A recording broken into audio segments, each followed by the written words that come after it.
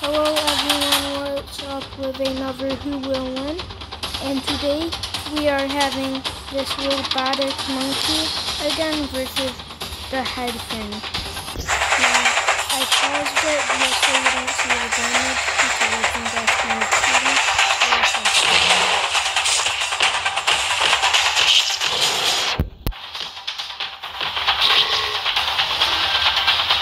Okay, so far